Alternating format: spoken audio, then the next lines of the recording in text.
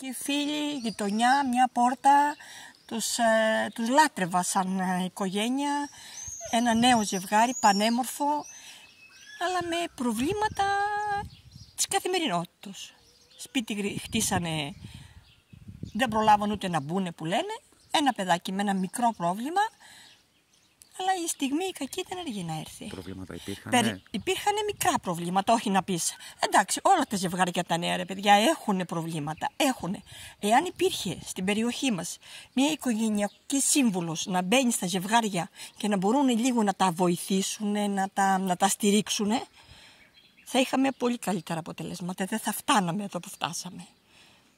Δεν έχουμε στην περιοχή μας τίποτε που να μπορεί να στηρίξει τα νέα ζευγάρια. Δεν έχουμε.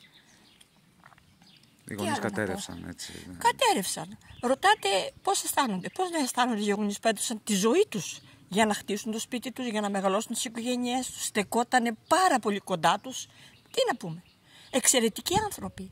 Όλοι εξαιρετικοί άνθρωποι. Και από τη μεριά της κοπέλας και από τη μεριά του αγοριού. Εξαιρετική οικογένεια. Εξαιρετικές οικογένειες. Δεν έχουμε να πούμε κάτι.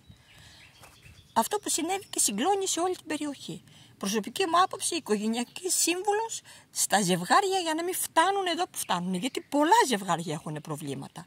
Εάν όμως το κράτος ή δώσουν μια τέτοια ευκαιρία στην περιοχή μας να υπάρχει κάποιος να, να, να, να τους βοηθήσει, θα σώνονται. Θα σώνονται.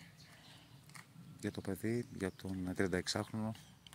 Εξαιρετικό παιδί, εξαιρετική οικογένεια, ευγενέστατος. Τον έχω κάθε μέρα και τον καλημερίζω. Τον τον είχα.